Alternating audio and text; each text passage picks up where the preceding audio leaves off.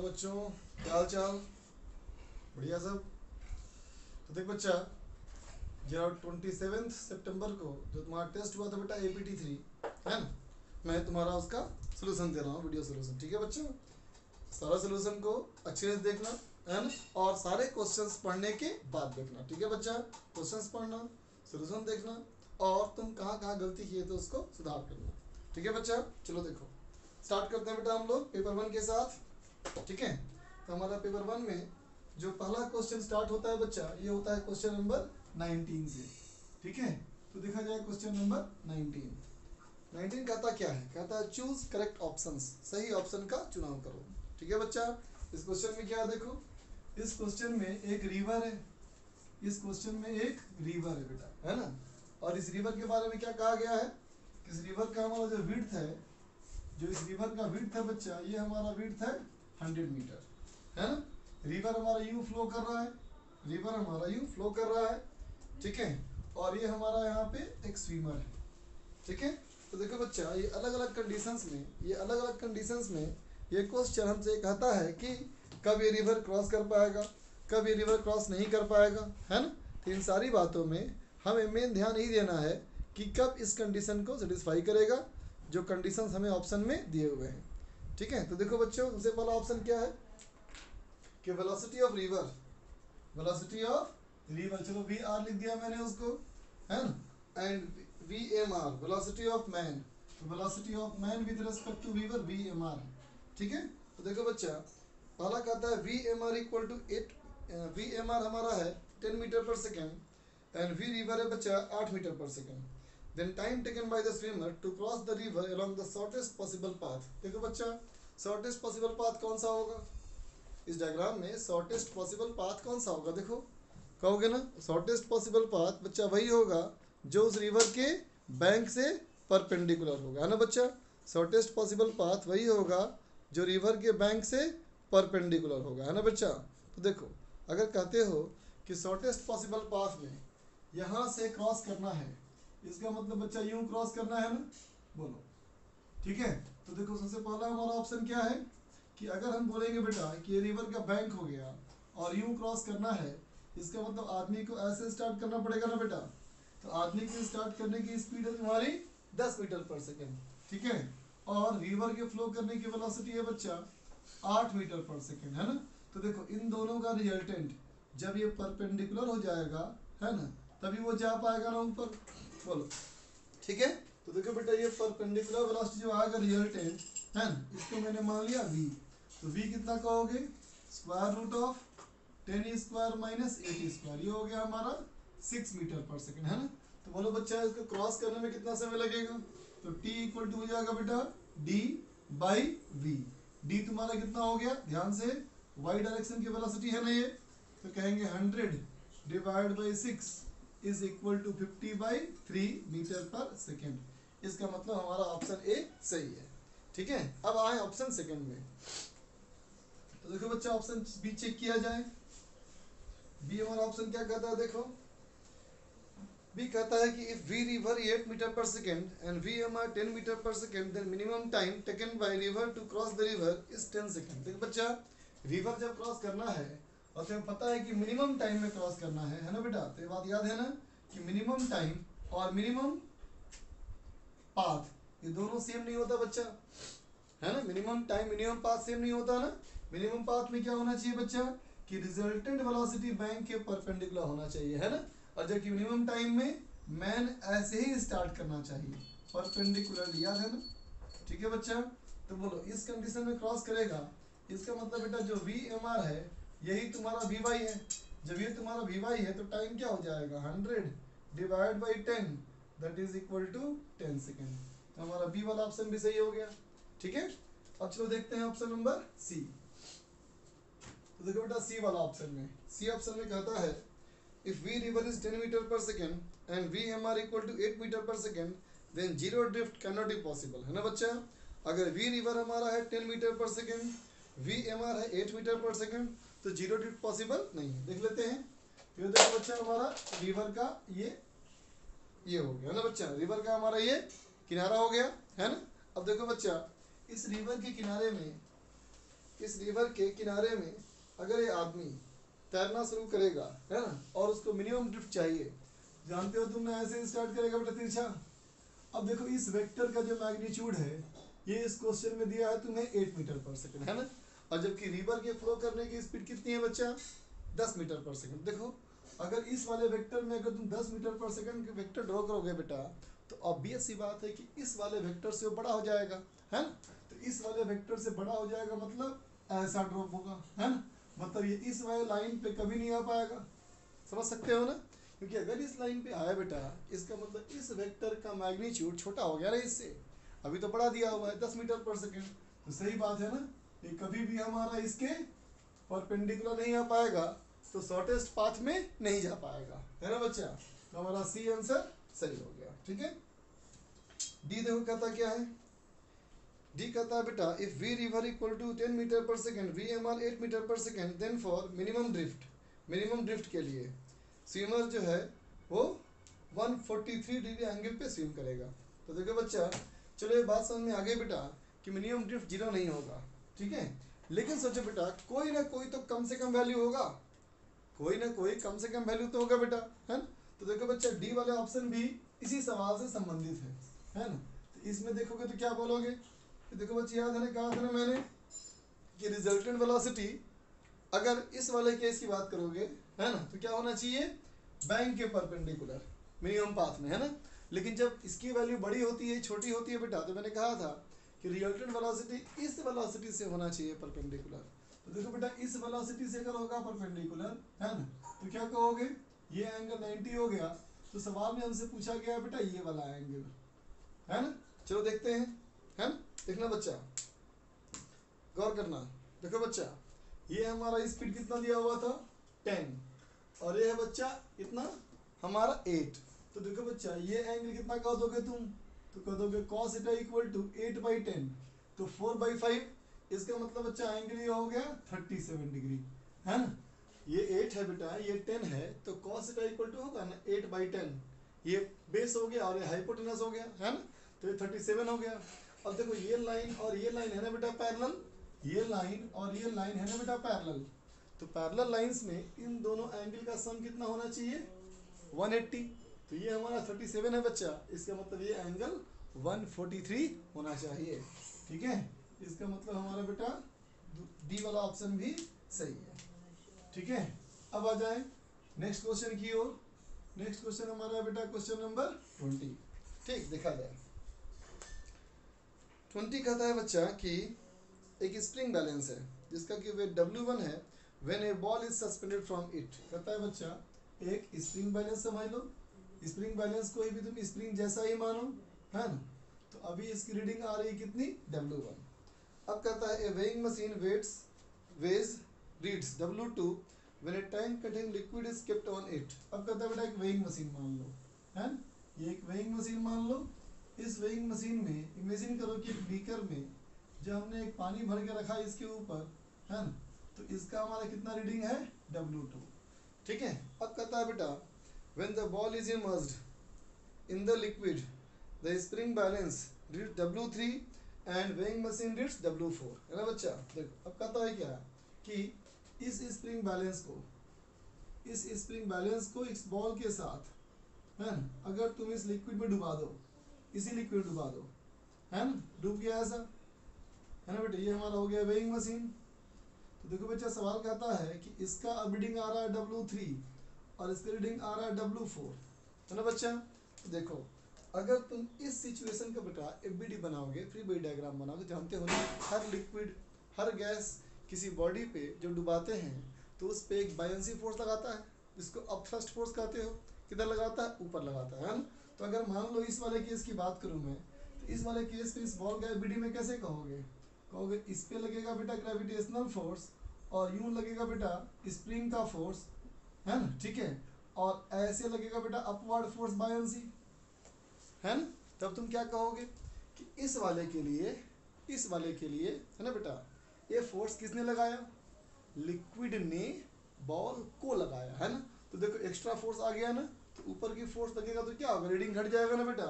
इसका मतलब रीडिंग क्या होना चाहिए? लेस देन डब्ल्यू वन बोलो बच्चा।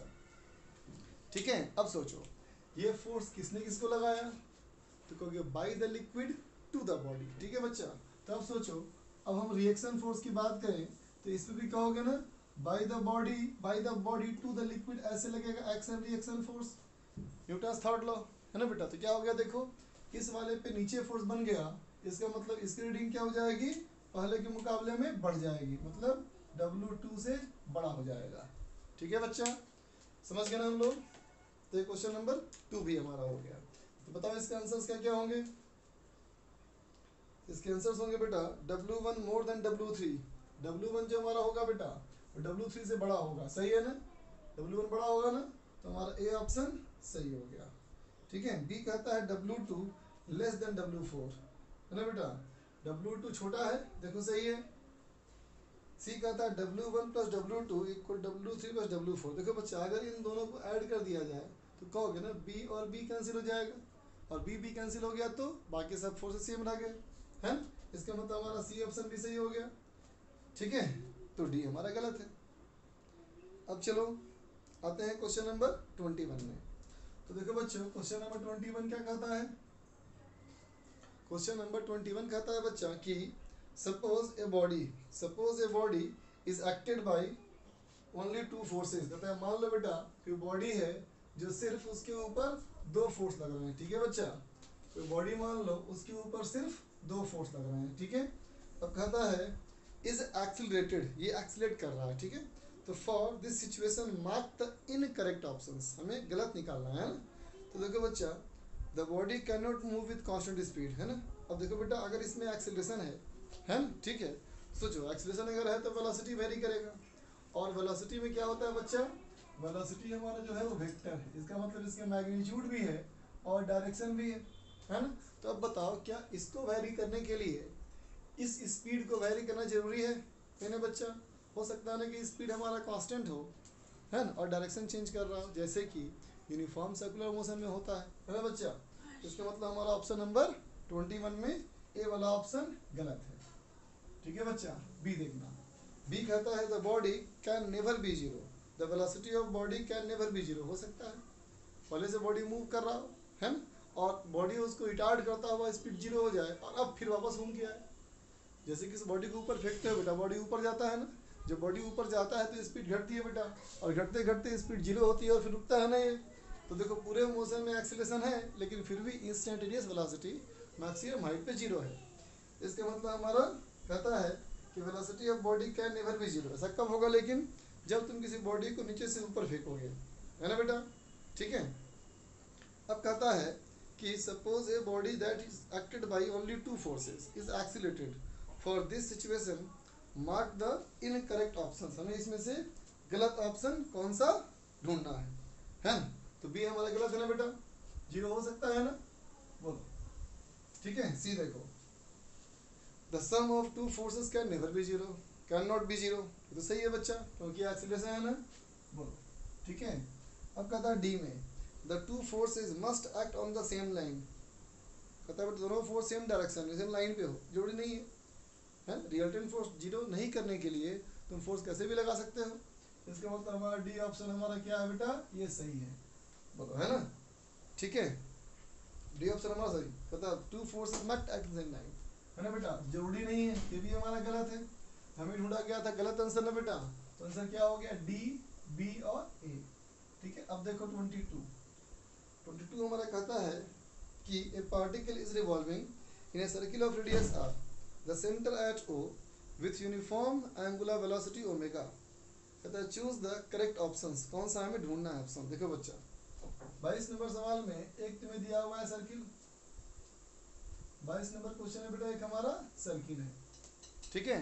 इस सर्किल में एक पॉइंट डायमीटर बना हुआ है ऐसा एक लाइन का।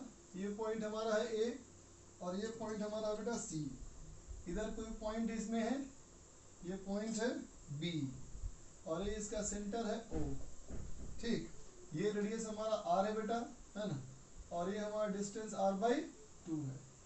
ठीक? अब कहता बेटा, एक पार्टिकल जो है है वो यूनिफॉर्म एंगुलर वेलोसिटी से घूम रहा है। कोई पार्टिकल जो है बेटा, चलो मैंने मान लिया इधर घूम रहा है यूनिफॉर्म एंगुलर वेलोसिटी से। चूज़ द करेक्ट ऑप्शन ठीक है? पहला option the ratio of angular velocity at A about A about O and B is three by two देखते हैं बच्चा तो मान लो पार्टिकल जब ए पे है तो इसकी वेलोसिटी वी है। है ना बेटा? तो बताओ एंगुलर वेलोसिटी अबाउट ओ क्या लिखोगे? तो कहोगे वी बाई आर बोल बच्चा। है ना? लेकिन अगर मुझे एंगुलर वेलोसिटी अबाउट बी कहना है बेटा तो क्या कहेंगे? बोलो। कहोगे वी डिवाइड बाई ये कितना हो गया बेटा, ये हो गया R plus R by two ये हो जाएगा थ्री आर बाई टू है ना? तो देखो तो इनका रेशियो आ जाएगा ना बेटा? ओ टू बी का रेशियो करेंगे अगर हम A about O and about B है ना बेटा? तो रेशियो हमारा क्या हो जाएगा इसमें? डिवाइड करने पे omega O upon omega B करोगे बेटा तो थ्री बाई टू का रेशियो आ जाएगा ना? सही है बेटा इसका मतलब? ये हमारा ऑप्शन बिल्कुल सही है। ठीक है? अब चलो बी देखें। Angular velocity at A at A about all the point O B and C is same गलत ना बच्चा, अभी तुम्हारा देखो। अभी तुम्हारा क्या आया? ओ और बी पे लगाया ना? Angular velocity at A about C is omega by two देख लेते हैं। सी वाले में चेक करें। ओमेगा अबाउट सी कितना बोलोगे बेटा? वी अपॉन टू आर है तो ओमेगा अबाउट ओ का क्या है? ये हाफ़ है ना बेटा? और ओमेगा अबाउट ओ क्वेश्चन में ओमेगा दिया हुआ था। इसका मतलब सी वाला ऑप्शन भी सही है। डी देखो velocity at A and C is same कहता ए और सी पे वेलोसिटी सेम होगा। नहीं बच्चा ए पे वेलोसिटी इधर होगा सी पे इधर होगा तो डायरेक्शन दोनों में डिफरेंट हो गया, है इसका मतलब डी वाला हमारा आंसर गलत है। तो सही आंसर क्या क्या हमारा हुआ इसका? ए और सी ठीक? आगे बढ़े। इरेज कर लें इसको।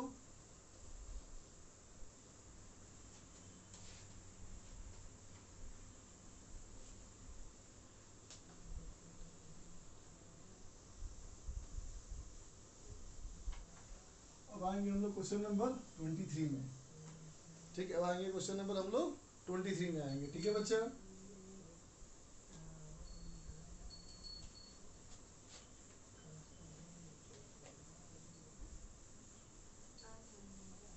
चल देखें। Question number twenty three twenty three हमारा क्या कहता है, देखो? कहता है क्वेश्चन नंबर ट्वेंटी थ्री में कि क्वेश्चन नंबर ट्वेंटी थ्री में क्या कहता है, देखो? कहता है potential energy of a particle of mass point one K G कहता है, बेटा, किसी मास ले लो पॉइंट वन किलोग्राम और इस पॉइंट वन किलोग्राम के मास में जो पोटेंशियल एनर्जी है है ना? ठीक है?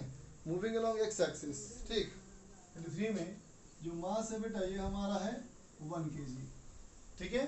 और इसका जो पोटेंशियल एनर्जी है बच्चा, ये पोटेंशियल एनर्जी हमारा क्या दिया हुआ है देखो? ये पोटेंशियल एनर्जी हमारा दिया हुआ है u equal to five x five x into x minus four ठीक है? सर, ये क्वेश्चन नंबर क्या देख रहे हैं हम लोग? ये क्वेश्चन नंबर देख रहे हैं हम लोग ट्वेंटी थ्री ठीक है बच्चा? तो देखो, कहता है एक्स मीटर में है it can be conclude that ऐसा कहा जा सकता है कि पहला the particle is acted upon a upon by a variable force कहता बेटा पार्टिकल पे एक वेरिएबल फोर्स ने काम किया। है ना बेटा? इसका मतलब क्वेश्चन क्या चाहता है? क्वेश्चन चाहता है बेटा हमसे कि हम पहले इसमें वेरिएबल फोर्स की वैल्यू निकालें। तो बताओ बेटा फोर्स कैसे निकालते हो? बोलो बोलो, कैसे निकालते हो? कंजर्वेटिव फोर्स का पता ना formula F equal to minus del u by del x. है ना बेटा? चलो पहले इसको एक्सपैंड कर लें। ये हो जाएगा five x square minus twenty तो देखो बेटा, इसको डिफरेंशिएट करोगे तो क्या हो जाएगा ये? ये हो जाएगा minus ten x minus ten x minus plus twenty है? तुम देखो एक्स पे डिपेंड कर रहा है ना? और अगर एक्स पे डिपेंड कर रहा है बेटा, इसका मतलब हमारा ए वाला ऑप्शन सही है। बी कहता है the minimum potential energy during motion is minus twenty joule potential energy का मिनिमम वैल्यू देखो बेटा तुम चाहो तो ग्राफ से भी कर सकते हो इसको। है? चाहो तो मैथमेटिकली भी कर सकते हो। पता है ना बच्चा? U को अगर मिनिमम करना है, इसका मतलब d u by d x zero होना चाहिए। From the concept of maxima and minima बोलो कितना हो जाएगा ये? टेन एक्स माइनस ट्वेंटी इसका मतलब बच्चा, ये x का वैल्यू कितना आ गया हमारा? टू आ गया, है ना? तो अब चलो x2 को x2 को अगर देखें हम लोग, है तो एक ही वैल्यू आया। इसका मतलब सिर्फ़ मिनिमा ही है है ना? चाहो तो डबल डिफरेंशिएट कर लो। देखो डबल डिफरेंशिएट करने पे क्या हो जाएगा ये? ओनली टेन ओनली टेन का मतलब क्या हुआ? पॉजिटिव वैल्यू मिनिमम है ना? चलो इसको पुट करके देखिए बेटा। तो इसका मतलब u का जो मिनिमम वैल्यू हमारा आएगा बेटा, कितना आएगा? तो कहोगे five x square minus twenty x है ना बच्चा? Five into four minus twenty into two है ना बेटा? ट्वेंटी इंटू टू कितना हो जाएगा ये? ये हो जाएगा twenty minus forty is minus twenty जो। ठीक है बच्चा? है? ठीक है? तो हमारा सेकेंड ऑप्शन भी सही है। इसका मतलब हमारा बी वाला ऑप्शन भी सही हो गया। सी देखो बच्चा speed of the particle is maximum at x equal to two देखो सी वाले में क्या कहोगे? कि भाई देखो, अगर स्पीड मैक्सिमम है बच्चा। इसका मतलब काइनेटिक एनर्जी जो होना चाहिए बेटा, ये भी मैक्सिमम होगा बोलो, क्योंकि kinetic energy equal to half m b square होता है बेटा। और एनर्जी यहाँ कंजर्व है ना तो एनर्जी अगर कंजर्व है, इसका मतलब पोटेंशियल एनर्जी हमारा मिनिमम है ना? और कहाँ निकाला तुमने बेटा इसको? तो at x equal to two इसका मतलब सी वाला ऑप्शन भी सही हो गया, है ना? अब डी देखो। x equal to two is the position of unstable equilibrium गलत है बेटा। मिनिमम पोटेंशियल एनर्जी मतलब स्टेबल इक्विलिब्रियम ठीक है तो हमारा डी हमारा गलत हो गया ठीक है अब चलो आए हमारे अगले सवाल में क्वेश्चन नंबर ट्वेंटी फोर देखो बच्चा ट्वेंटी फोर में क्या कहता है कहता है in the figure shown a particle of mass m is tied to a string and the other end of the string is tied to the side of the wall of the carriage which is accelerating horizontally with a constant acceleration a ठीक है बच्चा assuming the string remains taut and the particle is not in contact with the base of the carriage. है ना? तो क्या होगा? देखो तो बच्चा, सवाल ये है कि एक मान लो कैरेज ये कैरेज जो हमारा है बेटा, है ना? गाड़ी लगी है इसमें, है? व्हील लगी है. ये इधर एक्सीलेट कर रहा है बेटा विद एक्सीलरेशन ए ठीक है? इसमें एक हॉरिजॉन्टल लाइन ड्रॉ कर लिया और एक्सीलेट करने की वजह से कोई पार्टिकल जो है बेटा, वो ऐसे हो गया। यहाँ से एंगल थीटा पे आ गया। ठीक है? तो कहता है स्ट्रिंग अगर हमारा मान लो टाइट रहता है है ना? तो पहला सवाल पूछता है बेटा हमसे कि the angle theta the string mix with the horizontal is tan inverse g by a, हमें एंगल निकालना है है ना? तो देखो तो बच्चा, इसका इसी पोजीशन पे एफ़ बनाया जाए, ठीक है? और एफ़ बनाने के लिए मैंने ऑब्जर्वर कहाँ चूज़ किया? तो चलो मैंने ऑब्जर्वर बेटा इसी में चूज़ कर लिया मतलब with respect to a man inside the carriage ठीक है बच्चा? देख रहे हो तुम? ये फ्रेम नो इनर्शियल है। स्यूडो फोर्स लगेगा। सबसे पहला काम क्या करेंगे बच्चा हम लोग? स्यूडो फोर्स लगा देंगे। कितना लगाएँगे? एम इंटू ए और क्या लगेगा? ग्रेविटेशनल फोर्स लगेगा एम जी है ना? अब कहेंगे, बेटा, यहाँ से टेंशन टी ठीक है? तो अब देखो इस हॉरिजॉन्टल लाइन को देखो बेटा। वर्टिकल लाइन को देखो। कहोगे ना, ये एंगल थीटा तो ये भी एंगल थीटा बोलो बेटा। तो इस टी का ऐसे कंपोनेंट क्या हो जाएगा? ये हो जाएगा टी कॉसिटा और ऐसे हो जाएगा बच्चा ये टी साइटा है ना? तो अगर तुम इक्विलिब्रियम कहते हो बच्चा, अगर तुम इक्विलिब्रियम कहते हो तो कहोगे ना कि T sin theta equal to m g and T cos theta equal to m a divide कर लोगे, है ना? लेकिन तुमको मैंने आसान तरीके बताया हुआ है ऐसा कि देखो बेटा, इन दोनों का रिजल्टेंट इस लाइन पे आना चाहिए तो ये भी एंगल क्या हो गया? थीटा हो गया। तो ये भी एंगल हो गया बेटा तो इस ट्रायंगल में राइट एंगल ट्रायंगल दिखेगा तुम्हें यहाँ पे। क्या बोलोगे बोलो?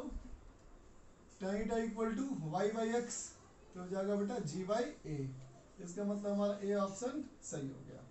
ठीक है? अब चलो, दूसरे ऑप्शन में आए। तो देखो बच्चा सेकंड ऑप्शन कहता है ए बाई जी तो अगर ए सही है बेटा, इसका मतलब बी हमारा गलत है। है ना? अब चलो सी में आए। स्ट्रिंग में टेंशन तो देखो ना बच्चा, टेंशन जो होगा वो इन दोनों का रिजल्टेंट होगा। या फिर ऐसे कहो कि ये इक्वल टू ये और ये इक्वल टू ये, है ना बच्चा? उसको स्क्वायर करके ऐड कर दो, है? स्क्वायर करके ऐड करोगे या कहो टेंशन इन दोनों का रिजल्टेंट होगा तो स्क्वायर रूट ऑफ़ क्या हो जाएगा बच्चा ये? एम ए का स्क्वायर प्लस एम जी का स्क्वायर है ना? इसका मतलब हमारा सी वाला आंसर सही हो गया बेटा, ठीक है? तो सी अगर सही हो गया तो डी हमारा गलत हो गया। ठीक है? बात समझ में आ गई? है ना? तो हमारा ये क्वेश्चन नंबर ट्वेंटी फोर भी हो गया। ठीक है बच्चा? अब आते हैं क्वेश्चन नंबर ट्वेंटी फाइव पे। तो देखो बच्चा क्वेश्चन नंबर ट्वेंटी फाइव क्या कहता है हमारा? ट्वेंटी फाइव नंबर क्वेश्चन कहता है, बेटा, हमारा कि एन इंसेक्ट है जिसका कि मास एम है। Start moving on a rough incline surface from point A A वाले पॉइंट चलना शुरू किया। कहता as the surface is very sticky surface जो हमारा बेटा बेटा बहुत चिपचिपाहट है है ना? कहता the coefficient of friction between the insect and the incline is mu equal to one ठीक है बच्चा? कोफिशिएंट ऑफ़ फ्रिक्शन की वैल्यू म्यू की वैल्यू वन है। Assume that it can move in any direction. मान लो किसी भी डायरेक्शन में मूव कर सकता है। Up the incline down the incline किधर भी। तो देखो बच्चा 25 नंबर क्वेश्चन में, ये है बेटा कि ये एक इंक्लाइन प्लेन है। है ना बेटा? ये एंगल हमारा दिया हुआ है तुम्हें 37 डिग्री ठीक है? और ये मान लो बेटा कोई इंसेक्ट है आई इसका मास तुम्हें एम दिया हुआ है है ना? और यहाँ coefficient of value coefficient of friction की वैल्यू वन दी हुई है, ठीक है? कहता the maximum possible acceleration of insect can be तो देखो बच्चों, ये बात बिल्कुल समझना कि इंसेक्ट है ना? या कोई भी लिविंग बॉडी जब ज़मीन पे चलता है बेटा, है ना? तो कोई भी लिविंग बॉडी जब ज़मीन पे चलता है बेटा तो फ्रिक्शन हम लोग मैनेज करते हैं। मतलब जिधर हम चाहते हैं, उधर ही फ्रिक्शन लगेगा हमारे ऊपर। है ना बेटा? बात समझे ना? जैसे हम आगे चलना चाहते हैं ना बेटा तो हम पे आगे लगेगा फ्रिक्शन हम पीछे चलना चाहते हैं तो फ्रिक्शन हम पीछे लगा देंगे। बोलो। बात समझे ना? तो हम लोग स्टैटिक फ्रिक्शन फोर्स लगता है बेटा हमारे ऊपर और लिविंग बॉडीज फ्रिक्शन को मैनेज कर सकती है। ठीक है बच्चा? तो देखो, अगर तुम चाहते हो कि मान लो इस पे फ्रिक्शन लगने वाला है है ना? तो देखो बच्चा, इस पे ग्रेविटेशनल फोर्स तो कंट्रोल में नहीं है ना बच्चा? उसको तो मैनेज नहीं कर सकते ना तुम। तो एम जी साइन थीटा तो इधर ही आएगा हमेशा। बोलो बच्चा। ठीक है? और एम जी कॉसिटा इधर आएगा बच्चा। है ना? ठीक है? नॉर्मल लगेगा बेटा ऐसे। बोलो। ठीक है? तो ये तो कंफर्म हो गया कि लिमिटिंग फ्रिक्शन फोर्स की वैल्यू जो होगी वो कितनी होगी? Mu m g cos theta है ना बच्चा? म्यू एन एन बराबर m g cos thirty seven है ना बेटा, कितना हो गया? म्यू की वैल्यू वन तो ये हो गया बेटा हमारा एट एम ये हो जाएगा हमारा एट एम है ना? और देखो m g sin thirty seven की वैल्यू अगर तुम कैलकुलेट करोगे तो ये वैल्यू तुम्हारी कितनी आएगी बच्चा? ये आएगी सिक्स एम है तो अब सोचो। अब तुम चाहते हो कि एक फोर्स तो पहले से लग रहा है है ना बेटा? और चाहते हो इसका एक्सीलरेशन मैक्सिमम हो तो बोलो बेटा। एक्सीलरेशन मैक्सिमम करने के लिए ऑब्वियस ही बात है कि तुम यही चाहोगे कि रिजल्टेंट फोर्स मैक्सिमम हो, है ना? इसका मतलब ये तो बहुत क्लियर है बच्चा कि इस इंसेक्ट पे ऐसे जो फोर्स लग रहा है वो सिक्स एम है। ठीक है? अगर एक फोर्स पता है, तुम चाहते हो एक्सीलरेशन मैक्सिमम हो तो फोर्स को मैक्सिमम करने के लिए क्या करोगे? फ्रिक्शन फोर्स भी इधर ही मैनेज करना चाहोगे ना बेटा? बोलो। लिमिटिंग बोलो। है ना? इधर अगर तुमने मैनेज कर लिया तो एक्सीलरेशन हमारा ए क्या लिख दोगे? F limiting plus six m equal to m a इसको पुट कर लो तो ए इक्वल टू आ गया बच्चा fourteen metre per second square नीचे की तरफ़, है ना? तो ऑप्शन नंबर क्या आंसर? ए सही है। है ना? तो अगर ए हमारा सही हो गया बच्चा, इसका मतलब बी हमारा गलत हो गया। ठीक है? सी कहता है the insect can move with a constant velocity याद है ना? क्रॉलिंग वॉकिंग सारे केस में कैसा फ्रिक्शन स्टैटिक और फ्रिक्शन हम मैनेज कर सकते हैं। तो अगर हम मैनेज कर सकते हैं बेटा तो हम चाह सकते हैं, नहीं तो ना? कि लिमिटिंग से फ्रिक्शन तो हम कुछ भी कुछ भी कर सकते हैं बेटा। तो अगर ये सिक्स एम है तो हमने ऐसा मैनेज कर लिया कि ये फ्रिक्शन फोर्स की वैल्यू ऊपर की तरफ़ है और कितनी? सिक्स एम तो हो सकता है कि फ्रिक्शन हमारा क्या हो जाए? बैलेंस कर ले। है ना बेटा? तो हमारा सी वाला ऑप्शन क्या हो गया? ये सही हो गया। D the insect can not move with a constant velocity ये तो गलत है बच्चा। सी अगर सही है तो डी हमारा गलत है। ठीक है? अब जो देखते हैं। Question number twenty six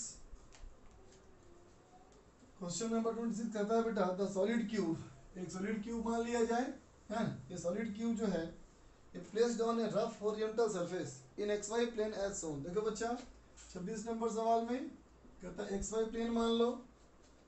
इस तरह से मान लिया गया, बेटा एक्स और इधर मान लिया गया हमारा वाई सॉरी ये वाई है, और ये एक्स है ना बेटा? तो देखो, अगर ये एक्स और वाई है इसका मतलब यही हमारा क्या है बच्चा? ये प्लेन है हॉरिजॉन्टल प्लेन है ना? और जेड एक्सिस कैसा है देखो? इससे परपेंडिकुलरली ऊपर की तरफ़। ऐसे है हमारा जेड एक्सिस ठीक है? इसमें हमारा एक क्यूब रखा हुआ है। इसमें हमारा एक क्यूब रखा हुआ है।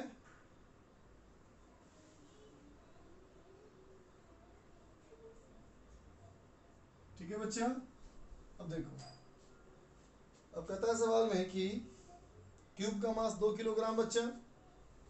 क्यूब का जो मास है वो है दो किलोग्राम। देखो बच्चा सवाल कहता है कि कोफिशिएंट ऑफ़ फ्रिक्शन 0.2 है। कोफिशिएंट ऑफ़ फ्रिक्शन 0.2 है। और कहता है, बेटा एक्सटर्नल फोर्स लगाया हमने एफ़ कितना लगाया? ये लगाया three i plus four j plus five k है ना बेटा? तो क्वेश्चन कहता है कि, पहला the block start slipping over the surface body जो है बेटा सरफेस पे स्लिप करना शुरू कर देगा। तो देखो बेटा एक्स और वाई ये दोनों तुम्हारा प्लेन है ना बेटा हॉरिजॉन्टल है तो सरफेस के पैरल कौन सा फोर्स हुआ? तो बोलेंगे एक्स वाई प्लेन का फोर्स जो हो गया बेटा, वो ज़मीन पे खींचने वाला फोर्स हो गया। तो बोलो बेटा, इन दोनों में कितना होगा रिजल्टेंट आएगा ना बेटा फाइव न्यूटन बोलो। तो पुलिंग फोर्स कितना हो गया बेटा, बोलो। तो कहेंगे पुलिंग फोर्स हमारा हो गया बेटा फाइव न्यूटन बोलो। ठीक है? और ये वाला फोर्स कैसा है बेटा? ये तो वर्टिकल होगा, है ना? तो देखो बच्चा, ये वाला फोर्स हमारा हो गया वर्टिकल ठीक है? ये जो हमारा फोर्स है, ये हो गया बेटा फोर्स हमारा हो गया वर्टिकल तो ये फोर्स फाइव न्यूटन हो गया बेटा ऐसे। बोलो, है ना? बाकी तुम्हारा ग्रेविटेशनल फोर्स तो होगा ही बेटा। एम जी कैसे लगेगा? जेड के एकदम अपोजिट और ऐसे ही लगेगा बेटा नॉर्मल है तो बताओ नॉर्मल की वैल्यू कितनी हो जाएगी? तो कहोगे नॉर्मल हो जाएगा बच्चा कितना? एम जी माइनस फाइव में बेटा? एम जी माइनस फाइव ये हो जाएगा बेटा फिफ्टीन न्यूटन। ठीक है? और कोफिशिएंट ऑफ़ फ्रिक्शन कितना है? पॉइंट टू इसका मतलब बच्चा लिमिटिंग कितना हो जाएगा? म्यू इनटू एन ये हो जाएगा बेटा थ्री न्यूटन। ठीक है? तो अब बताओ, खींचने वाला फोर्स फाइव है लिमिटिंग फ्रिक्शन थ्री है, इसका मतलब बॉडी स्लाइड करेगा या नहीं? करेगा ना? तो हमारा ए ऑप्शन सही हो गया बेटा। हमारा ए ऑप्शन जो है वो सही हो गया अब चलो बी चेक करें। Friction force acting on the cube by the surface is three newton सही बात है बेटा? बॉडी अब स्लिप कर रहा होगा तो कैसा फ्रिक्शन काइनेटिक है ना? चूँकि म्यू का एक ही वैल्यू है तो काइनेटिक और लिमिटिंग बराबर ही बोलेंगे तो हमारा बी वाला ऑप्शन भी सही हो गया। सी देखो। Friction force act in the body in x y plane at 127 degree है ना बेटा? देखना। इस डायग्राम को अगर देखो बेटा ऊपर से इस डायग्राम को अगर तुम देखते हो ऊपर से तो ऊपर से देखोगे तो क्या बोलोगे? ऐसे हमारा है वाई एक्सिस और ऐसे हमारा है एक्स एक्सिस बोलो। ठीक है? और बोलोगे जो बॉडी हमारा है बेटा, इस बॉडी पे फोर्स कैसे लग रहा है? Three I cap plus four J cap तो देखो बच्चा three I cap plus four J cap तो पुलिंग फोर्स तो ऐसे हो गया ना? इसमें से आई कैप में थ्री ये हो गया थ्री और ये हो गया फोर तो ये हो जाएगा बेटा फाइव न्यूटन बोलो। होगा ना? अब देखो बच्चा, ये थ्री है, ये फोर है। तो ये एंगल हमारा हो गया फिफ्टी थ्री है ना? तो फ्रिक्शन कैसे लगेगा? तो कहोगे ना बेटा पुलिंग फोर्स की जस्ट अपोजिट है ना? और एंगल कहाँ से कहा है बेटा ये? एंगल का है in the positive x axis positive x axis ये वाला एंगल देखिए ये वन फिफ्टी थ्री है बेटा। तो ये थर्टी सेवन हो गया। ये थर्टी सेवन हो गया तो पूरा कितना हो गया? One eighty minus thirty seven is one forty three इसका मतलब हमारा? सी वाला ऑप्शन भी सही है। डी देखो the contact force fifty newton है, देख लेते हैं बेटा। याद है ना? कॉन्टेक्ट फोर्स क्या बोलते हैं? Square root N square plus friction square N कितना था बोलो? एन था बेटा फिफ्टीन और ये था बेटा थ्री अब तुम उम्मीद करो तो क्या ये फिफ्टीन आएगा? नहीं ना बेटा? तो डी वाला हमारा ऑप्शन गलत है। ठीक है? समझ गए? तो ऑप्शन नंबर क्या हुआ इसका answer A B and C अब आगे देखा जाए। क्वेश्चन नंबर ट्वेंटी सेवन देखो बच्चों ट्वेंटी सेवन नंबर क्वेश्चन हमारा क्या कहता है? ट्वेंटी सेवन नंबर क्वेश्चन कहता है, बेटा a block of mass ten k g is placed on a rough horizontal surface है ना बच्चा? रफ ओरिएंटल सरफेस है acted upon by a variable force इस पे एक वेरिएबल फोर्स लगा है बेटा। इस पे हमारा फोर्स कैसा लगा है? वेरिएबल फोर्स लगा है, ठीक है? और हॉरिजॉन्टली है है ना? कोफिशिएंट ऑफ़ फ्रिक्शन हमारा बेटा 0.5 the force F is starting from a value of 0 is increased linearly to 100 newton in 4 seconds. देखना बच्चा। ये हमारा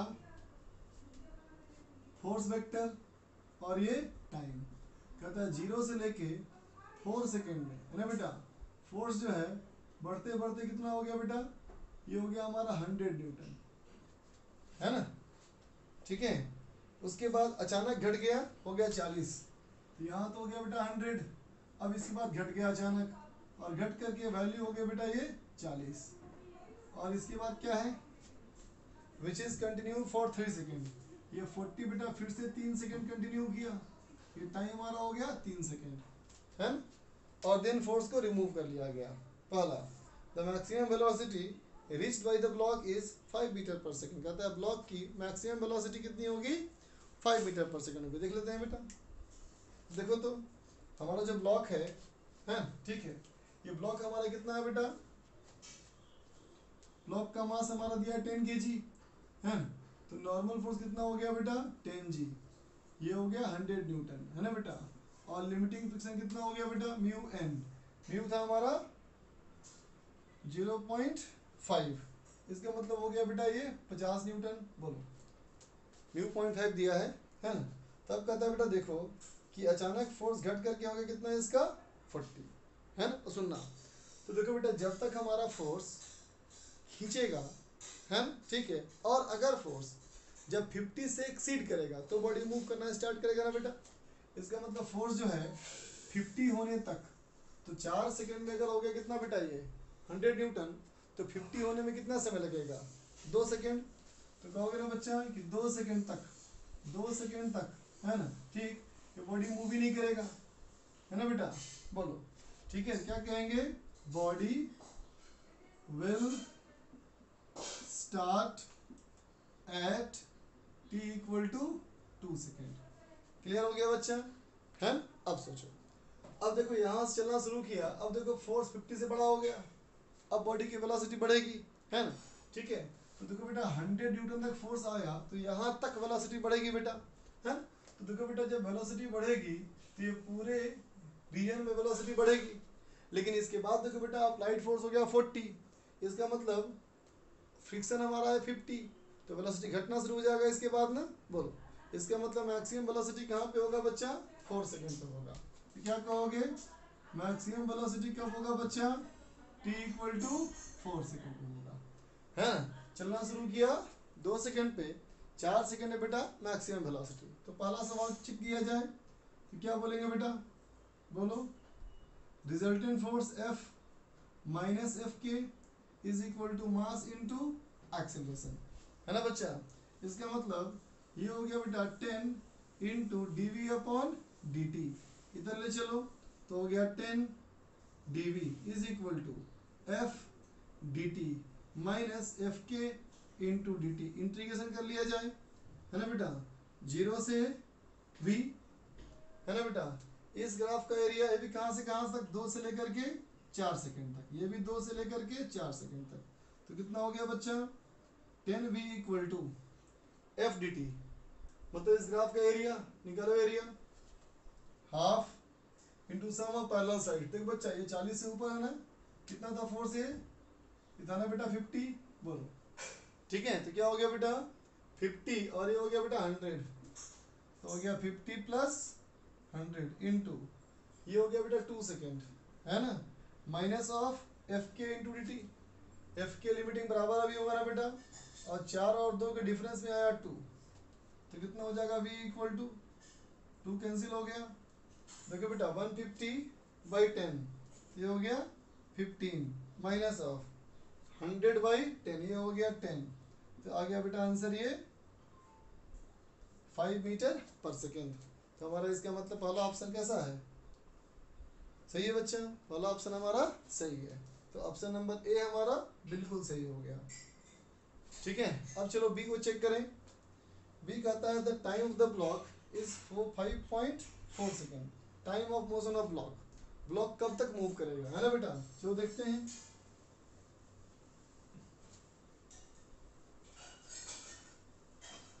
तो देखो बच्चा, ये क्लियर हो गया हमारा हमारा बेटा कि t equal to four second पर हमारी जो ब्लॉक की वेलोसिटी है बेटा, वो कितनी है?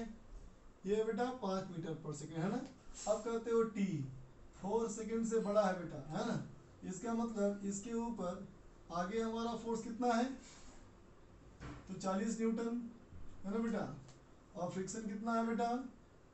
ये है पचास, है ना बेटा? तो अब बताओ, ये बॉडी रिटार्ड करेगा ना बेटा बोलो? ये बॉडी हमारा रिटार्ड करेगा ना? बोलो। ठीक है ना बच्चा? तो बॉडी अगर रिटार्ड करेगा मतलब वेलोसिटी घटेगी। तो रिजल्टेंट फोर्स कितना हो गया? माइनस टेन और मास ही बेटा हमारा है दस किलोग्राम। इसका मतलब पीछे की तरफ़ जो इसका एक्सीलरेशन होगा बेटा, वो कितना होगा? One metre per second square पीछे की तरफ़। ठीक है ना बेटा? है ना? तो अब बताओ, अगर तीन सेकेंड और की बात करते हो, अगर तुम t equal to seven second की बात करते हो तो क्या रुक जाएगा बॉडी बोलो। अगर t equal to seven second की बात की जाए तो क्या वो रुकेगी बेटा? नहीं ना। क्यों नहीं? स्पीड पाँच मीटर पर सेकेंड स्क्वायर है। है ना? और ये समय कितना है सिर्फ़? तीन सेकेंड चार सेकेंड से सात सेकेंड तो तीन सेकेंड में वेलोसिटी कितनी घटेगी? Only three metre per second इसका मतलब फिर से बेटा वेलोसिटी यहाँ बची रह जाएगी कितनी? दो मीटर पर सेकेंड है ना बेटा? अब कहोगे कि टी जो है, वो सेवन सेकेंड की आगे की बात करें। है? तो सेवन सेकेंड के आगे की बात करो। तो यू कितना हो गया तुम्हारा? दो metre per second acceleration only friction अब कुछ नहीं बचा. फोर्स भी हट गया। है? तो कितना हो जाएगा बेटा? Minus fifty by five equal to minus ten metre per second square. बोलो बेटा। है ना? Friction by mass. एक बोलोगे ना बेटा? ये नेगेटिव। फ्रिक्शन बाई मास। ठीक है तो ए कितना हो गया बेटा हमारा? Minus ten metre per second square. ठीक है? तो बॉडी कब रुकेगा? लिख दो। V equal to U plus A T equal to zero तो t कितना हो गया बेटा? U हो गया हमारा टू और ये हो गया टेन तो हो गया बेटा ज़ीरो पॉइंट टू सेकेंड, है ना? ठीक है तो बॉडी कितना देर मूव किया? ठीक है बच्चा? सॉरी टेन नहीं होगा बेटा ये फाइव था ना? ये फोर्स बाई मास टेन बेटा ये फाइव हो जाएगा। तो ये फाइव तो ज़ीरो पॉइंट फोर हो जाएगा बेटा, है? तो देखो टाइम ऑफ़ मोशन कितना हुआ? तो कहोगे बच्चा टाइम ऑफ़ मोशन कितना हुआ? तो देखो बच्चा, दो सेकंड बाद चलना शुरू किया। है ना बेटा?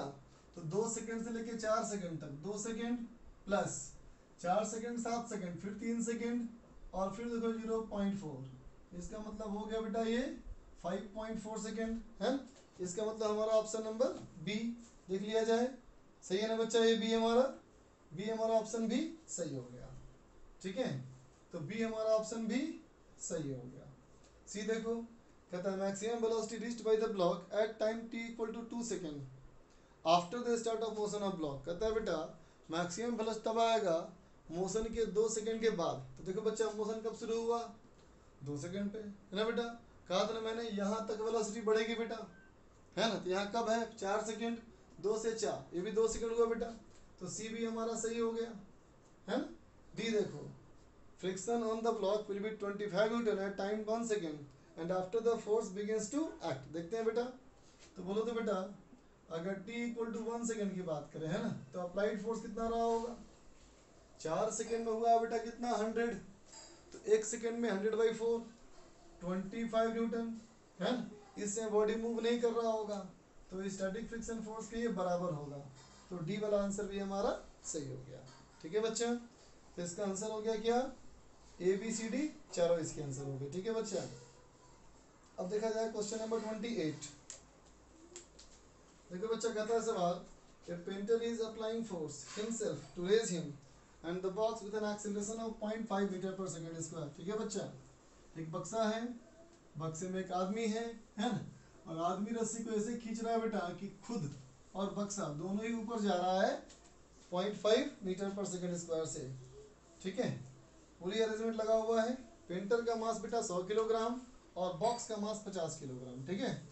जी, हमारा 10 मीटर पर सेकेंड स्क्वायर तो क्या होगा? देखते हैं। क्वेश्चन नंबर 28 देखो बच्चा क्वेश्चन नंबर 28 28 में कहता है, ये एक बॉक्स है ना बच्चा? देखो बेटा, ये हमारा आदमी हो गया। यहाँ से रस्सी ऊपर जाएगी बेटा, है ना? और यहाँ पे छोटा सा होल होगा, तभी रस्सी खींच पाएगा ना? बोलो। यहाँ पे थोड़ा सा होल होना चाहिए ना बेटा? तभी रस्सी खींच पाएगा ऊपर। और यहाँ से रस्सी लगी बेटा ऊपर यहाँ से। और ये हमारा एक पुली और इस पुली के थ्रू ऊपर फिक्स कर दिया। ठीक है बच्चा? है। ना आदमी का मास दिया है बच्चा? सौ किलोग्राम ना? पेंटर का मास बेटा सौ किलोग्राम। ये ऊपर जा रहा है। Five metre per second square से। इसका मास है बच्चा हंड्रेड किलोग्राम। और सिर्फ़ बॉक्स का मास फिफ्टी किलोग्राम ठीक है? पहला कहता है इन द रूप देखते हैं बच्चा। तो देखो तो बच्चा, इस कंडीशन में अगर मैं दोनों का सिस्टम मान लूँ, वाले वाले में, है ना? तो दोनों का सिस्टम मानोगे बेटा तो टोटल कितना मास हो गया तुम्हारा? 150 किलोग्राम अब देखो बेटा बॉक्स से यहाँ से लग रहा है टेंशन टी और आदमी जो रस्सी पकड़ रखा है, यहाँ से भी टेंशन टी ग्रेविटेशनल फोर्स बेटा 150 जी और एक्सेलरेशन ऊपर, क्या लिखोगे?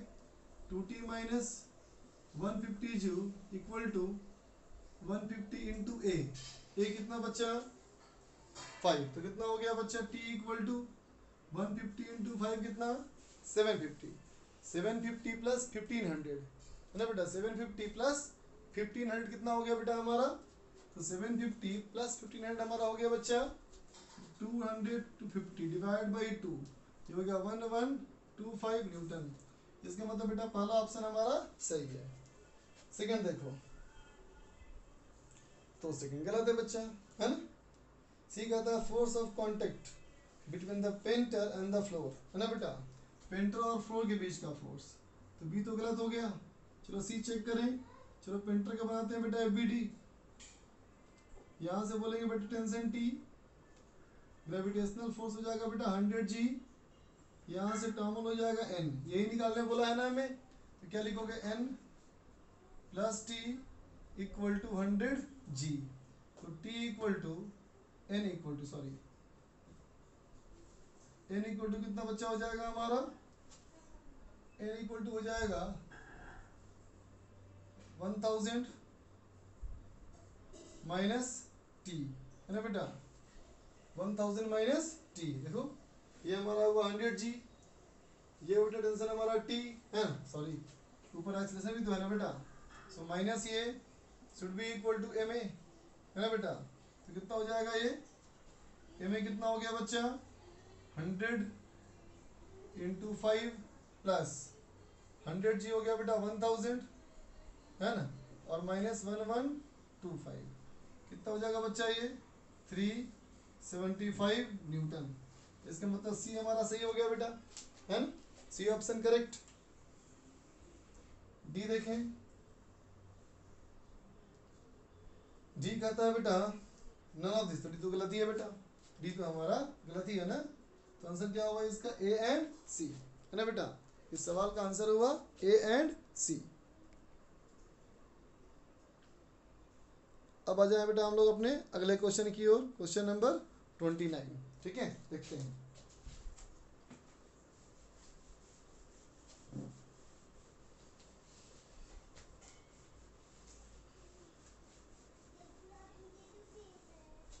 क्वेश्चन नंबर ट्वेंटी नाइन देखते हैं बच्चा कहता है सवाल क्या कि in a free space a rifle of mass capital M shoots a bullet of mass M on a stationary block of mass capital M distance d away from it ठीक है when the bullet has moved through a distance small d towards the block the center of mass of the bullet block system is at distance of ठीक है बच्चा देखो तो कहता है एक राइफल ठीक है बच्चा चलो ये राइफल मान लेते हैं बेटा हम लोग है ना देख बेटा राइफल में राइफल का मास हमारा है कैपिटल एम राइफल का मास है बेटा कैपिटल एम है ना ठीक है, इसमें से एक बुलेट निकलती है स्मॉल एम मास की। बुलेट यहाँ से निकलने वाली है स्मॉल एम मास ठीक है? अब कहता है बेटा छोड़ा ऐसा मत बनाओ। मैं राइफल के साइज़ से हो जाए कंफ्यूजन साइज़ के बारे में कुछ भी नहीं कहा ना बेटा। तो दोनों को तुम मान लो एक ही जगह पे। कितना मास है बच्चा अभी हमारा? बुलेट और राइफल अब कहता है, दूसरा एक मास हमारा है ब्लॉक कैपिटल डी पे। यहाँ से कैपिटल डी पे डिस्टेंस पे एक दूसरा ब्लॉक है बेटा कैपिटल एम अब कहता है, when the bullet has moved through a distance d towards the block, कुछ देर के बाद, जब ये बुलेट यहाँ आ चुका होगा स्मॉल एम ये डिस्टेंस डी आ चुका होगा तो मान लो बेटा राइफल यहाँ आ चुका होगा राइफल मान लिया जाए यहाँ आ चुका होगा, इसको मैंने एक्स मान लिया, ठीक है है ना और देखो बच्चा, अभी टकराया नहीं इसको तो ये तो अभी वहीं पे रहेगा नहीं तो हिलेगा भी नहीं अभी। ठीक है, सवाल कहता है बेटा centre of mass of bullet block system कहाँ होगा? ठीक है? तो देखो बेटा, इस पूरे सिस्टम के लिए एक्सटर्नल फोर्स तो है नहीं। जब एक्सटर्नल फोर्स नहीं है बच्चा, इसका मतलब क्या हुआ? कि सेंटर ऑफ़ मास हमारा शिफ्ट नहीं करेगा। बोलो। है ना? सेंटर ऑफ़ मास शिफ्ट नहीं करेगा क्योंकि एक्सटर्नल फोर्स नहीं है। है ना? तो इस पूरे सिस्टम की अगर बात करो और इस लाइन को ओरिजिन मान लो। इस लाइन को ओरिजिन मान लो, है ना बच्चा? तो क्या कहोगे? इस पूरे का सेंटर ऑफ़ मास क्या होना चाहिए? तो क्या बोलोगे? M plus M into zero plus capital M into D divided by total mass तो सेंटर ऑफ़ मास चलो यहाँ मान लिया मैंने। चलो आगे मान लेते हैं। चलो यहाँ मान लेते हैं बेटा सेंटर ऑफ़ मास है, ये सेंटर ऑफ़ मास की लाइन कहाँ होगा ये? तो capital M into D divide by total mass ये हो जाएगा बेटा टू एम प्लस एम बताना कैसे निकालना है? ये इंटू ज़ीरो प्लस ये into capital D by total mass ना बेटा? ठीक है? बात समझे बेटा? ठीक है, देखो अभी तो राइफल हमारा कितना पीछे आया होगा? राइफल हमारा कितना पीछे आया होगा?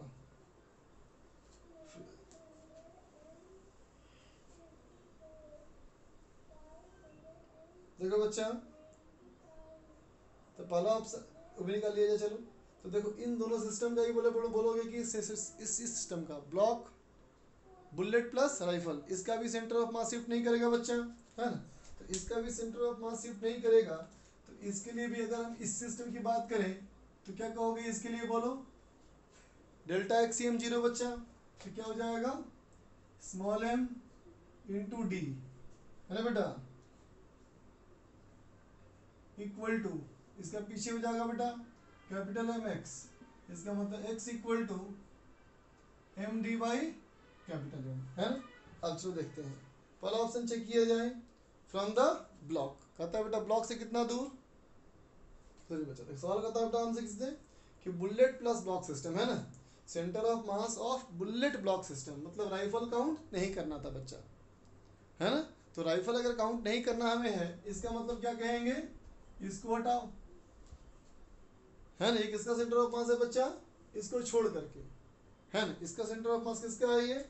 ये सेंटर ऑफ़ मास इसका है और इसका है। ना बेटा तो पहले हमारा सेंटर ऑफ़ मास कहाँ था बच्चा? यहाँ था। है ना? ठीक है? अब इन दोनों का सेंटर ऑफ़ मास कहा गया? इन दोनों का सेंटर ऑफ़ मास कहा गया है? तो इन दोनों का सेंटर ऑफ़ मास कितनी दूरी पे होगा? है ना? तो देखो बेटा, इन दोनों में इनिशियली तो यहाँ पे होगा। है लेकिन जब ये इतना मूव कर चुका होगा, है ना? तो अब फिर है, बोल रहा है, बेटा, इसका इसका सेंटर ऑफ़ मास है ना बेटा? तो अब क्या होगा देखो? तो क्या कहोगे यहाँ सेंटर ऑफ़ मास यहाँ मान लेते हैं सेंटर ऑफ़ मास हमारा बेटा। और दूरी कितनी है?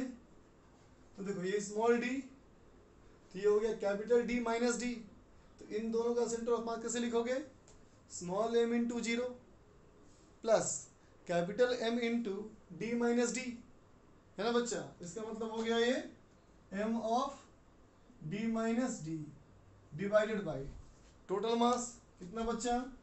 तो एम प्लस एम इन दोनों का मास ठीक है बच्चा? अब चलो आते हैं पहले ऑप्शन पे। जो पहला हमारा ऑप्शन कहा गया बेटा, वो क्या कहा गया देखो?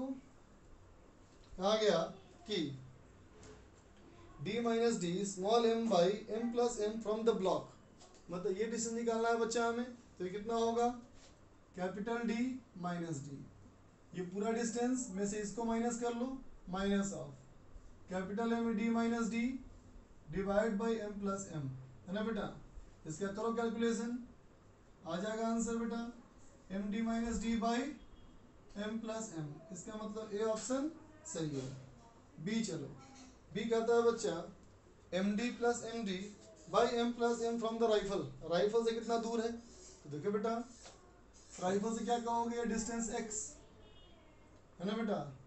प्लस डी और प्लस ये. M of D minus D by M plus M है ना बेटा? ठीक है? इसको सॉल्व करो. सॉल्व करो. ये आ जाएगा बच्चा. M D plus capital M D divide by M plus M है ना बच्चा? ठीक है? तो ये भी हमारा सही हो गया बेटा। एक्स की वैल्यू यहाँ से ये पुट कर लेना बेटा। एक्स की वैल्यू ये पुट कर लेना ठीक है? ठीक है बच्चा? अब देखो। सी की बात करें। सी कहता है बेटा two D M by D plus M from the rifle तो अगर बी और सी में से तो कोई एक ही कलर सही होगा बेटा, दोनों सही तो नहीं हो सकता ना? डी देखो।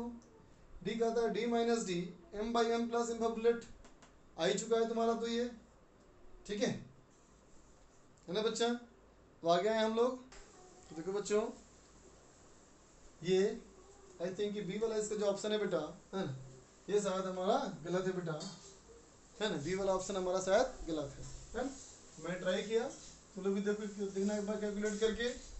शायद मुझे लगता है बी वाला ऑप्शन इसका गलत है लोग भी कैलकुलेट करना शायद इसका इसका इतना आंसर नहीं आ पाएगा है हो सकता है कि मैंने कुछ कैलकुलेशन में मिस्टेक किया हो तुम लोग करना एक बार ठीक ठीक है तो आई थिंक बी ऑप्शन नहीं आएगा बच्चा ठीक अब देखो इसका आंसर आएगा सिर्फ़ ए और डी अब देख लो एक बार क्वेश्चन नंबर थर्टी में आगे बढ़े बेटा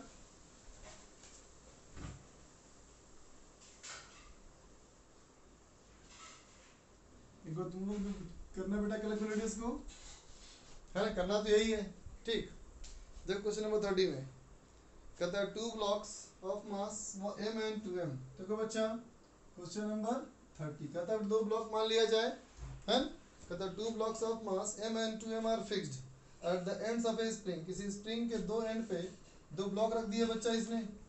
एक एम और एक टू एम है ना? स्प्रिंग इज़ इनिशियली कॉम्प्रेस्ड शुरू में स्प्रिंग हमारा कॉम्प्रेस्ड है बच्चा। ठीक and the system is release in air system में हवा में छोड़ दिया। आफ्टर टाइम टी सेकेंड क्या होगा? देखो बच्चा, तीस नंबर में एक मास एम ले लो बेटा। या टू एम मान लेते हैं, चलो इसको। और ये हमारा एम है ना? स्प्रिंग को थोड़ा सा कंप्रेस कर दिया, है ना? और हवा में छोड़ दिया। तो देखो बेटा, जो भी फोर्स यहाँ पे होगा, वो तो स्प्रिंग का फोर्स कहलाएगा बेटा इंटरनल है ना? एक्सटर्नल की बात करो अगर एक्सटर्नल बेटा तो सिर्फ़ इसका टू एम जी और ये एम जी है ना, और कोई एक्सटर्नल फोर्स तो है नहीं, है ना? और सिस्टम का मोमेंटम सिर्फ़ एक्सटर्नल फोर्स पे डिपेंड करता है। याद है ना बच्चा? तो ए वाले में क्या बोलोगे? ए वाले में कहता है, बेटा momentum of system excuse me system का मोमेंटम जो होगा बेटा, वो ज़ीरो होगा। गलत ना बेटा? फोर्स नीचे गिरेगा सिस्टम में पूरा। पूरा सिस्टम नीचे गिरेगा बेटा। तो मोमेंटम ज़ीरो तो नहीं हो सकता। बी कहता है बेटा। Momentum of system will be three M system का मोमेंटम थ्री एम होगा। सही है बेटा? फोर्स इंटू टाइम सही है ना? फोर्स इंटू टाइम बराबर impulse and impulse equal to change in momentum C कहता है momentum of system will be M गलत? सी गलत बेटा। है ना? डी कहता है कि momentum of system will not depend upon the value of spring constant सही बात? इंटरनल फोर्स से कोई मतलब ही नहीं बेटा। है अब देखा जाए क्वेश्चन नंबर थर्टी वन तो थर्टी का आंसर क्या हुआ? B and D thirty one देखना बेटा। थर्टी वन कहता है in the figure the block B of mass मॉलिम start from rest at the top of a wedge W of mass capital M all surfaces are without friction कहीं कोई friction नहीं। Capital W can slide on the ground Capital B slides down into the ground, moves along it with a speed small v, has an elastic collision. ठीक है बच्चा? With the wall and climbs back to W. W पे वापस आ गया. ठीक है बच्चा देखो तुम. 31 में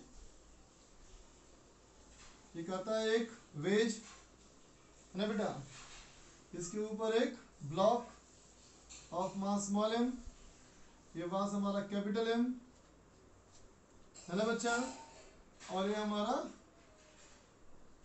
वॉल ठीक है?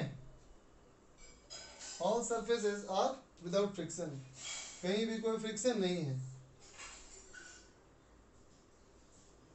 इलास्टिक कोजन किया बेटा? है? और फिर वापस आया। ठीक है? और क्लाइंस बैक टू डब्ल्यू देखो बच्चा स्मूथ सरफेस आ रहा है स्मूथ सरफेस कहीं कोई फ्रिक्शन नहीं।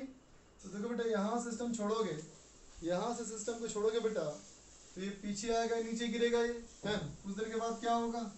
ये आ चुका होगा बेटा अपनी जगह से पीछे। है ना? और ये ब्लॉक ज़मीन पे आ चुका होगा। ये कुछ वेलोसिटी वी से आ रहा होगा बेटा। है ना? और ये वाला बॉडी इधर जा रहा होगा अभी। ये मान लो स्मॉल वी ये मान लो बेटा कैपिटल वी है? अब देखो, ये इधर जाएगा। इलास्टिक कोलिजन है। तो जाएगा बेटा, टकराएगा और फिर वापस लौटेगा उसी स्पीड से। है? जब ये उसी स्पीड से वापस आएगा, है ना? तो फिर इस पे चढ़ने की कोशिश करेगा। लेकिन बताओ बेटा, जब ये इधर से लौट करके इसके ऊपर आएगा तो अब देखो बेटा, दोनों बॉडी की वेलोसिटी सेम डायरेक्शन में है बेटा। और जब दोनों की वेलोसिटी सेम डायरेक्शन में है तो इसी डायरेक्शन में मूव करते रहेगा, हो सकता है कोई अलग वेलोसिटी से मूव करे, है ना? लेकिन महसूस करो कि अब सिस्टम रेस्ट में नहीं आ सकता बच्चा, है ना? इसका मतलब ये पहले तो हमारा सिर्फ़ पोटेंशियल था बेटा ओनली पोटेंशियल एनर्जी अब काइनेटिक एनर्जी भी है और पोटेंशियल एनर्जी भी है, इसका मतलब पोटेंशियल एनर्जी पहले के मुकाबले में कम होगी तो वापस उस हाइट तक नहीं आ पाएगा। तो ऑप्शन हमारा ए गलत हो गया बेटा, है ना? बी देखो, कहता है फ्रॉम द बिगिनिंग शुरू से till the collision with the wall the centre of mass of B plus W is stationary सही बात? तो यहाँ से लेके देखो इस डायग्राम में, अभी तक हॉरिजॉन्टल डायरेक्शन में कोई फोर्स नहीं आया, है ना बेटा? तो सिस्टम का सेंटर ऑफ़ मास हमारा बेटा स्टेशनरी होगा राइट ना? From the beginning till the collision with the wall जब तक कि कोलाइड ना कर जाए, है ना? The centre of mass of B plus W block और बेस है ना बेटा? का सिस्टम हमारा from the beginning till the collision with the wall the center of mass of b plus w, b हमारा ब्लॉक बेटा, और प्लस वेज हमारा स्टेशनरी रहेगा। है ना बेटा? ठीक, पूरे मोशन में। ठीक है? देखना तो। तो हॉरिजॉन्टल डायरेक्शन में एक्सटर्नल फोर्स नहीं था बच्चा तो मूव नहीं किया। बिल्कुल सही बात, लेकिन सोच के देखो। बेटा ग्रेविटेशनल फोर्स लगा होगा ना? बोलो, है कि नहीं? तो क्या हुआ होगा? जब ये नीचे आ रहा होगा ग्रेविटेशनल फोर्स की वजह से तो यहाँ जब आया होगा बेटा तो कुछ ना कुछ तो वेलोसिटी इस डायरेक्शन में होगा ना बेटा? तो सोचो, एक का ऐसे वेलोसिटी एक का ऐसे वेलोसिटी तो बेटा सेंटर ऑफ़ मास की वेलोसिटी वर्टिकल डायरेक्शन में तो आएगी, है और जब टकराएगा ज़मीन से बेटा, यहाँ पे, कोने पे तो उसकी इंक्लाइन वेलोसिटी टकराएगा तो वर्टिकल इम्पल्स की वजह से वर्टिकल कंपोनेंट ज़ीरो हो जाएगा। तो हॉरिजॉन्टल डायरेक्शन में मूव नहीं करेगा वर्टिकली तो मूव किया बेटा पहले, है तो हमारा इसलिए बी ऑप्शन बताओ, गलत। अगर कहा होता है ये हॉरिजॉन्टल डायरेक्शन में तो सही होता है अगर ये बात हॉरिजॉन्टल डायरेक्शन की होती तो ये सही होता। After the collision centre of mass of B plus W means with a horizontal component of 2mv by m plus m, है ना बच्चा? ठीक है? After the collision, center of mass of b plus w moves with the horizontal component of velocity. टक्कर के बाद, देखो बच्चा, यहाँ से लेके यहाँ तक हॉरिजॉन्टल डायरेक्शन में कोई एक्सटर्नल फोर्स नहीं आया। तो मोमेंटम कंजर्व होगा बच्चा, है? तो देखो बेटा, एक का वेलोसिटी ऐसे होगा और एक का वेलोसिटी ऐसे होगा। होगा बेटा? बोलो। ठीक है? बात समझे ना? ठीक। ब्लॉक की स्पीड तुम्हें भी दी हुई है सवाल में। ये वाली स्पीड भी दी हुई है। इधर आएगा तो कितना स्पीड होगा बेटा? फिर से भी। एनर्जी लॉस तो होगी नहीं, है ना बेटा? तो इसकी हमारी स्मॉल वी इसकी कैपिटल वी तो इस स्टेप में मोमेंटम कंजर्व कर लो। तो पहले कितना मोमेंटम था बेटा? तो बोलेंगे, इस स्टेप के लिए मोमेंटम कंजर्व पहले ज़ीरो था बेटा ओरिएंटल में, अब कितना हो गया? एम भी इसका minus capital M capital V इसका मतलब कैपिटल वी बराबर कितना बेटा? M B by M plus M sorry M B by M है ना बेटा? अब कहता है कोलिजन के बाद इन दोनों के सेंटर ऑफ़ मास की वेलोसिटी देखो बच्चा, अब इसकी वेलोसिटी इधर कितनी हो गई?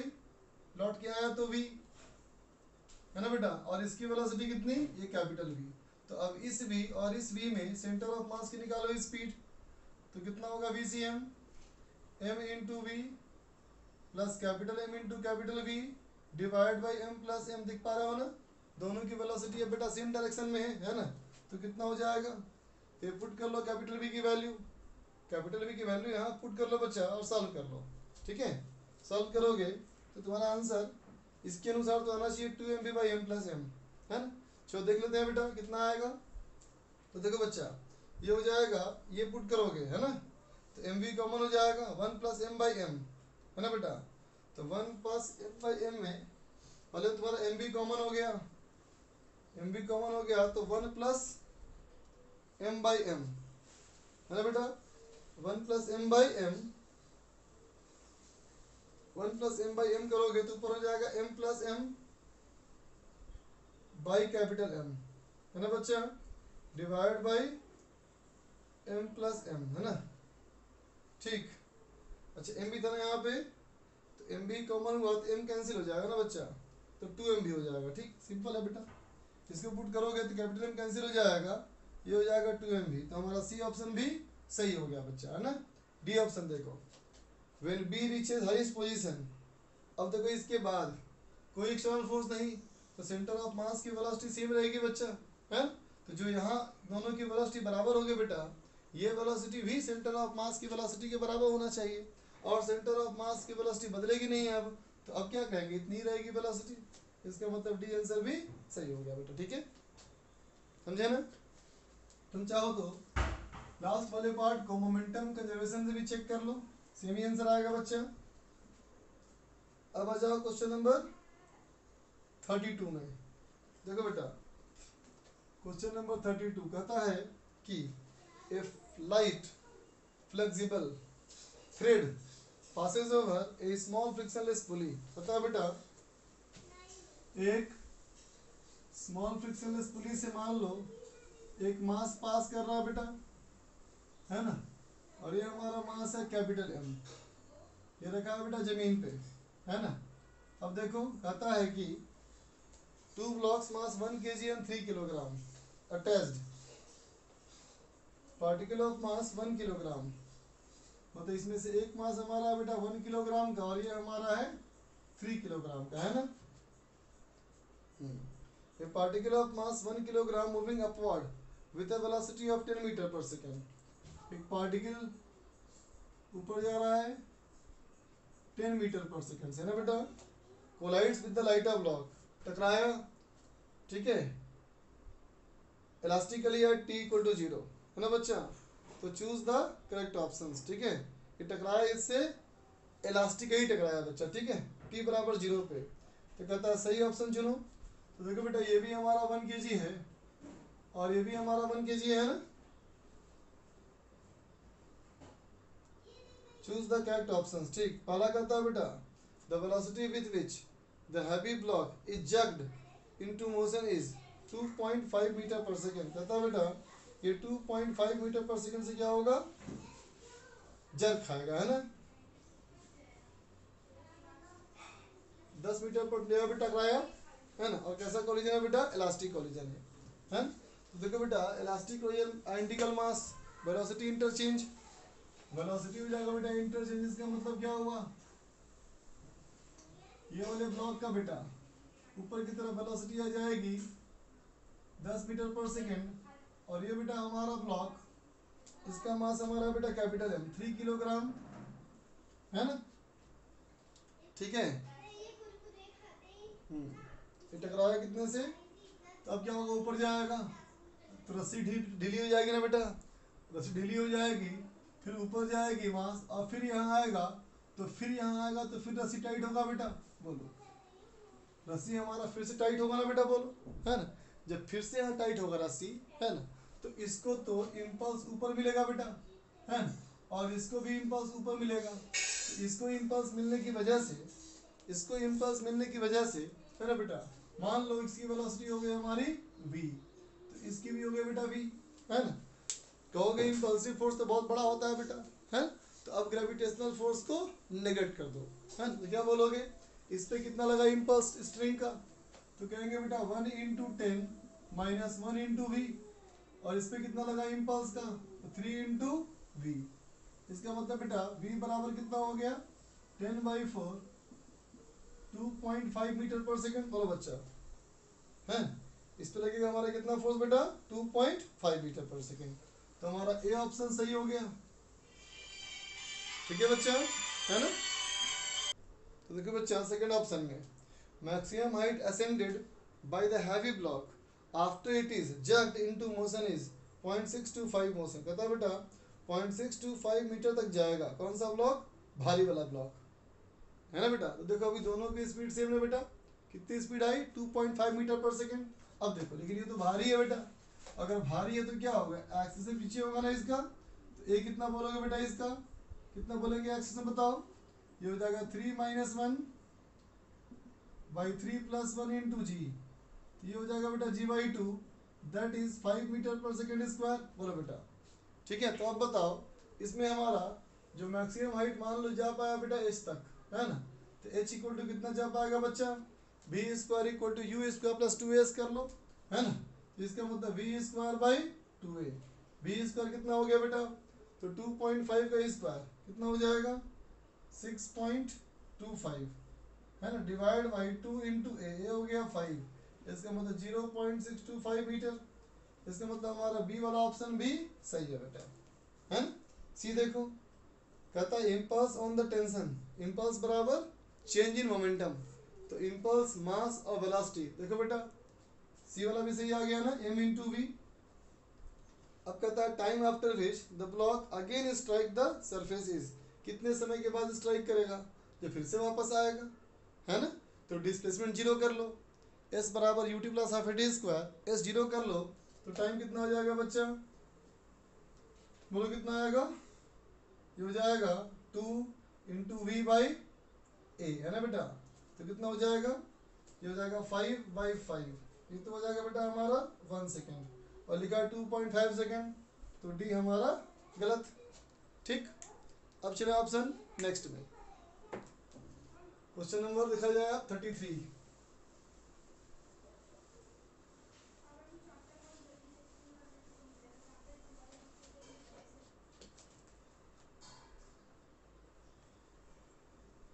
अब आ गया बेटा हमारा कॉम्प्रिहेंशन है ना? देखो बच्चा। थर्टी थ्री थर्टी फोर का comprehension number one comprehension number one for question thirty three to thirty four ठीक है बच्चा सवाल कहता है देखो क्या The ring R in the arrangement zone can slide along a smooth fixed horizontal rod. It is attached to the block A by the light string. The block is released from rest with the string horizontal. देखते बच्चा ये एक rod है ये एक rod है बेटा है ना? अब कहता है यहाँ पे हमारा एक रिंग है। और यहाँ से धागा बांधा। धागा बाँध करके एक ब्लॉक लगा दिया। ठीक है बच्चा? ये हमारा है स्मॉल एम मास ये भी हमारा है स्मॉल एम मास ठीक है? पहला, the vertical displacement of center of mass when the string becomes vertical is. देख बच्चा, जब स्ट्रिंग हमारा वर्टिकल होगा तो कैसे होगा? ये यहाँ आएगा बेटा। और ये ब्लॉक नीचे हो जाएगा, है ना? ये लंबाई एल मान लो तो vertical displacement of centre of mass क्या बोलोगे?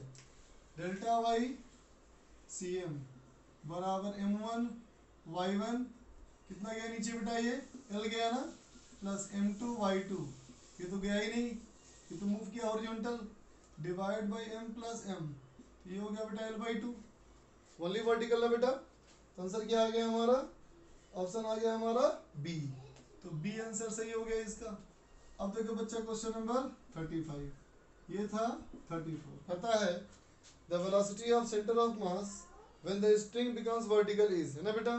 तो देखो यहाँ से लेके यहाँ तक आने में इस रिंग पे या पूरे सिस्टम पे हॉरिजॉन्टल डायरेक्शन में कोई एक्सटर्नल फोर्स है ही नहीं। जब हॉरिजॉन्टल डायरेक्शन में कोई एक्सटर्नल फोर्स नहीं है बच्चा इसका मतलब क्या हुआ? इसका मतलब ये हुआ कि सिस्टम हॉरिजॉन्टल डायरेक्शन में मूव ही नहीं करेगा। इसका मतलब सेंटर ऑफ़ मास की वेलोसिटी अभी कितनी होगी बेटा? हॉरिजॉन्टल में ज़ीरो होगी। ठीक है? तो ऑप्शन नंबर ए सही हो गया इसका। ठीक है? अब देखा जाए second comprehension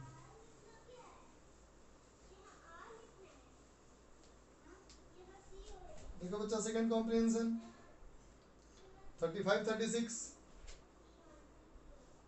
comprehension thirty five thirty six ठीक है बच्चा थर्टी फाइव नंबर क्वेश्चन देखा जाए कहता है बेटा one and of a massless inextensible string of length L is fixed and the other end is tied to a small mass m small m.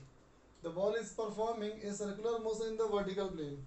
Ball जो है बेटा वर्टिकल मोशन कर रहा है at the lowest position speed of the ball is root twenty G है ना बेटा कहता है ऐसे मानो बेटा सर्कुलर पाथ है ना जब लेवेस्ट पॉइंट पे है तो इसकी स्पीड है रूट ट्वेंटी जी ठीक है? तो कहता है, बेटा, सिर्फ़ ग्रेविटेशनल फोर्स मानो टेंशन मानो ठीक है? पहला सवाल, motion of ball is the nature of बोल तो बच्चा, ऊपर जाएगा तो क्या होगा? ग्रेविटेशनल फोर्स का वर्डन होगा स्पीड घटेगी। पता है ना? यहाँ स्पीड बेटा होता है क्या? कम से कम, और यहाँ स्पीड होता है बेटा मैक्सिमम पहला कहता है कांस्टेंट स्पीड से होगा तो गलत। है ना बेटा? स्पीड यहाँ वेरिएबल होगा। है ना बेटा? तो बी सही। है ना बेटा? Angular acceleration about centre of circle नहीं बेटा? ग्रेविटेशनल फोर्स का कंपोनेंट वेरी करते रहेगा ना टेंजेंशियल में। डी गलत। Last at the highest point of the ball tangential acceleration of ball is देखो बच्चा हाईएस्ट पॉइंट पे। हाईएस्ट पॉइंट पे तो क्या बोलोगे? ऐसे बोलोगे टी ऐसे बोलोगे एम जी है ना बेटा? हॉरिजॉन्टल डायरेक्शन में किसी भी तरह का कोई फोर्स नहीं तो टेंजेंशियल एक्सेलरेशन ज़ीरो इसका मतलब ऑप्शन नंबर थर्टी सिक्स का क्या होगा बेटा? तो थर्टी सिक्स का होगा ऑप्शन नंबर ए आई बात समझ में? है ना बच्चों? कॉम्प्रिहेंशन बहुत इजी था ना? ठीक है बच्चा? तो चलो, ये हमारा पेपर वन हो गया बेटा, है ना? थोड़ी देर बाद पेपर टू भी तुमको दे दूँगा मैं।